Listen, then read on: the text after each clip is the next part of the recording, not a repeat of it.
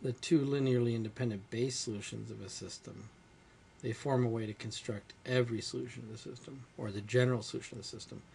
If y1 and y2 are linearly independent solutions to a first order system, y prime equals ay, then the general solution is made up of any linear combination you can make from y1 and y2. Say ky1 plus ky2, any number of copies of y1 plus any number of copies of y2. Now the form of y1 and y2 are determined by the nature of the system.